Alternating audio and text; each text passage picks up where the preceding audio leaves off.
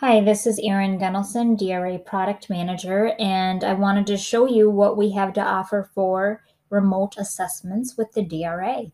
Uh, for the DRA2, EDL2, and DRA3, uh, we will have an option where users can not only access, for example, DRA3 online, but they can also purchase a one year subscription that is a per kit teacher license for the current academic year, which will give them access to digital benchmark books.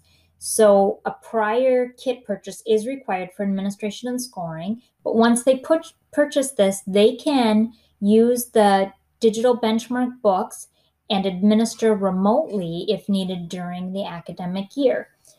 Once they make a purchase, uh, within five to seven business days, they will get an email from our implementation team that will tell them that they've been given access. It'll send them a link where they go to create their account and a key that they can access that'll unlock the set of books that they have purchased. So once they go to that platform, um, the platform will look something like this.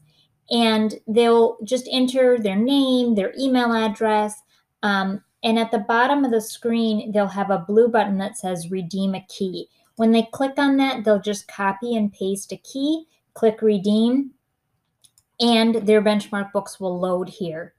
Once they have access to the benchmark books, they can go in here and select the book that they want to use to administer to their students. So let's say for the first student, they're going to be administering a level six book. They go ahead and click on this book.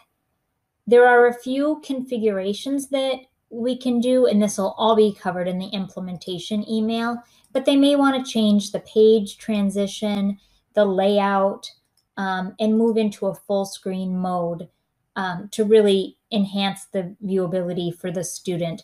There are other ways in here that you can even change it a little bit further if you're not getting quite the resolution that you're expecting.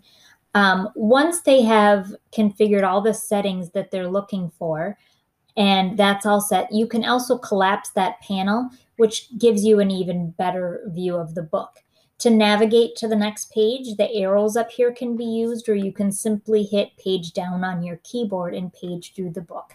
This supports the teacher paging through the book while the student is reading along, and the teacher or an aide can be marking um, any errors or miscues that are made during the process of reading it on the existing teacher observation guides or on DRA3 online. Once they have finished, or if they decided that this wasn't the correct book, they could go back and quickly search for another book,